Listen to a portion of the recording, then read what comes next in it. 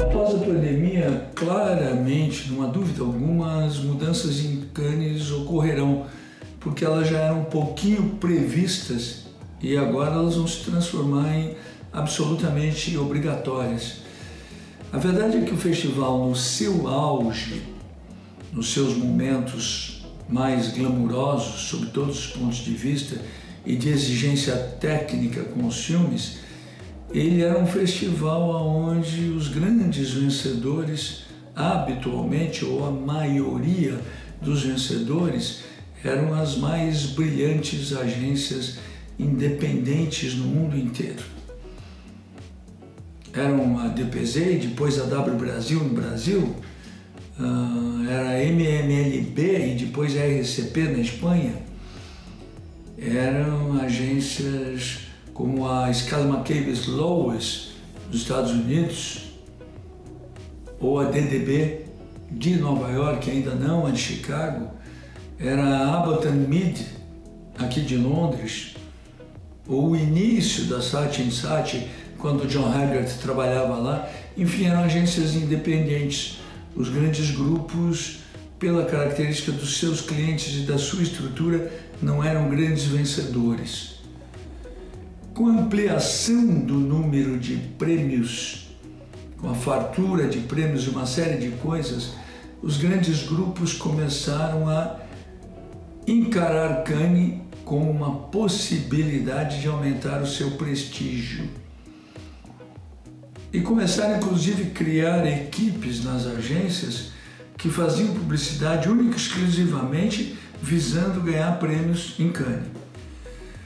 Isso mudou muito o perfil do festival e os administradores do festival, os proprietários do festival, desde o Roger até os atuais, administraram mal as suas ambições começaram a querer ganhar dinheiro com aquilo de tudo quanto é jeito. E assim também começaram a incentivar ampliação de categorias.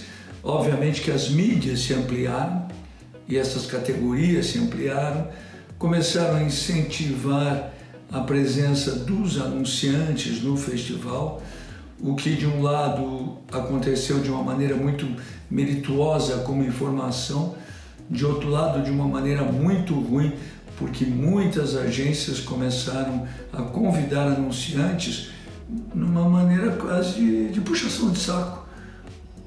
Uma maneira de agradar o anunciante, fazendo convites para passar 10, 15 dias em Cannes, o que, na minha opinião, eticamente, negocialmente não é correto.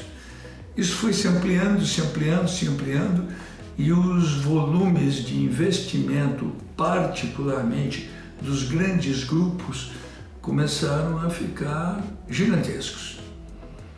Quatro, cinco anos atrás, já preocupados com esses investimentos, alguns líderes de grandes grupos, como Maurice Levy na Publici,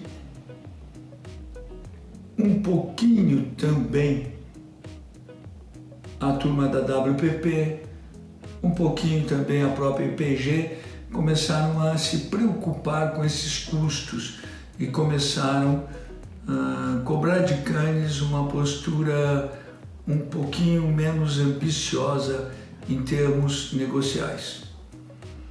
Isso já vinha sendo conversado, até porque todo mundo também percebeu que a fartura de leões deixou de ser um negócio para as agências e para os profissionais.